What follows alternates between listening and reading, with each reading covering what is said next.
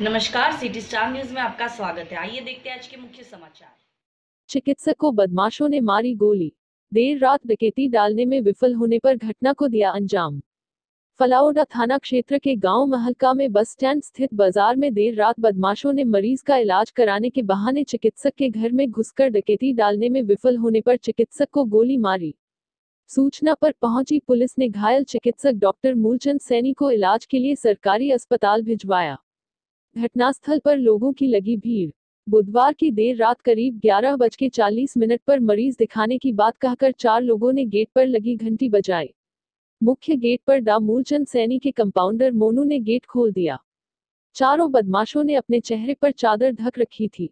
अंदर घुसते ही बदमाशों ने उसे साइड से दबोच लिया और उसका मुँह दबाने लगे लेकिन कंपाउंडर की चीख निकल गई। जी की आवाज़ सुनकर डॉक्टर मूलचंद सैनी बाहर की तरफ़ आए तो अचानक उन पर चारों बदमाशों ने तमंचे बंदूकों जैसे हथियारों से अंतकित कर दबोच लिया। डॉक्टर मूलचंद द्वारा विरोध करने पर एक बदमाश ने उन पर चार फायर झोंक दिए। एक गोली डॉक्टर के दाहिने हाथ में लग गई। घटनास्थल पर पहुँचे लोगों ने हमलावरों का पीछा करने का प्रयास किया लेकिन सभी बदमाश भागने में कामयाब रहे। सूचना पर पहुँची पुलिस ने गंभीर रूप से घायल मूलचंद को इलाज के लिए अस्पताल भिजवाया। फलाउडा से फैजान। मैं दो बदमाशों को बाहर ले गया उन्होंने मेरे फायर मारा। उसके बाद दो दो बदमाश अंदर रहे दो बाहर चले गए। फिर दूसरा बाहर फिर मारा तीसरा फिर आगे मारा चौथा फिर मारा।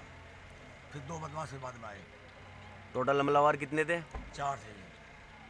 किसी की पहचान हुई? पहचान नहीं है बाइक से थे कार से? बाइक थी बाकी ढाटे बाँध रखे थे। आपके गोली कहाँ लगी? हाथ में लगेगी दाएँ हाथ। दाएँ हाथ में। हाँ सब फिर जो उसके बाद में जो गाँव वालों ने तीन चार फायर करे।